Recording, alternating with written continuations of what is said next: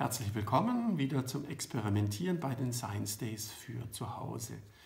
Ähm, ihr wisst, man kann diese Filme, also andere Filme auch, und weitere Experimentieranleitungen auf unserer Webseite anschauen.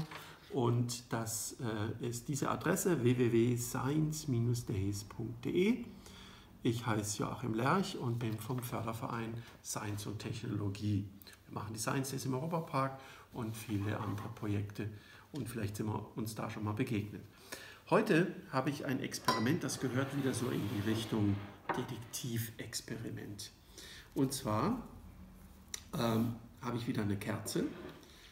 Ähm, hier auch nochmal der ganz wichtige Hinweis, dass ich euch darum bitte, dass ihr dieses Experiment mit der offenen Flamme nicht allein durchführt, sondern dass ihr gemeinsam mit euren Eltern da dran geht. Ja? Wir wollen zwar, dass ihr dann mit lernt, umzugehen mit äh, offenem Feuer, aber dass ihr trotzdem hier keine Gefahren eingeht zu Hause. Was ich sonst noch auf dem Tisch stehen habe, ist hier ähm, Salz, ganz normales Kochsalz ja, und ein Glas Wasser. Ich habe das Wasser etwas äh, aus dem, also angewärmtes Wasser hier aus dem Wasserhahn geholt. Wenn es zu kalt äh, ist, dann wird das Experiment etwas länger dauern.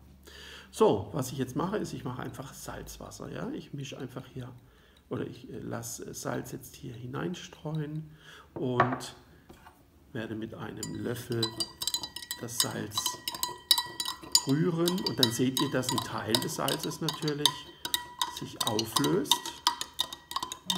Wenn man nicht ganz so viel Salz reinmacht, dann sieht man hinterher überhaupt keinen Bodensatz. So, das setzt sich jetzt gleich ab, aber hier unten seht ihr jetzt, ist ein bisschen was übrig. Das heißt, nicht alles, äh, nicht äh, das ganze Salz kann hier aufgelöst werden, sondern nur ein Teil. So, jetzt ist es so, jetzt kommt die Kriminalgeschichte. Ja, stellt euch mal vor, da ist jemand, der hat einem anderen äh, Menschen etwas ins äh, Getränk gemischt, um ihn zu betäuben zum Beispiel. Und die Polizei kommt jetzt, will das feststellen. Und was macht sie? Sie nimmt eine Probe von diesem Getränk, das mache ich jetzt auch mit dem Löffel etwas Wasser hier mit dem Salz, ne, das ist jetzt salziges Wasser, nehmen, es muss nicht ganz voll sein. Und ich halte jetzt hier diese, dieses Wasser äh, über der Flamme. Und zwar nicht in die Flamme rein, sondern direkt darüber. Wenn ich jetzt natürlich in die Richtung spreche, dann erzeuge ich so ein bisschen eine Strömung und dann kann man nicht mehr so gut die Flamme unter Kontrolle halten. So, das dauert jetzt natürlich eine ganze Weile und wir kürzen das ab, unterbrechen kurz und dann geht es weiter.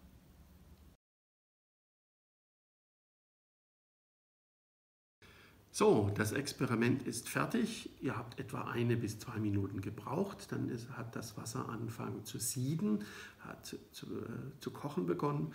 Und äh, was aber dann hinterher übrig geblieben ist, das kann ich euch hier mal zeigen. Wenn ihr mal ein bisschen näher kommt, dann seht ihr, dass in dem Löffel jetzt eine weiße Substanz übrig geblieben ist. Teilweise hat es richtig kleine Klümpchen gegeben.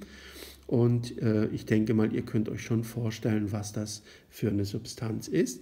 Genauso würde die Kriminalpolizei jetzt äh, zum Beispiel ähm, dieses Material untersuchen, würde jetzt hier eine Probe nehmen und in unserem Fall ist es klar, da käme jetzt Salz heraus, weil wir ja hier Salz reingestreut haben und kein anderes Material.